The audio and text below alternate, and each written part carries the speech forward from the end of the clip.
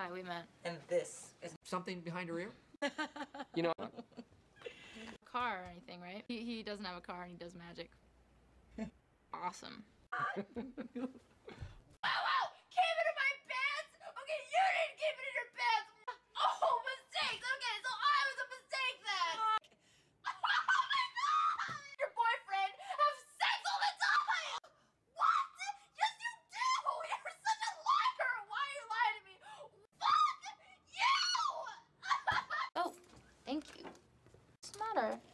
Um Where's Andy? Um, stormed out of here.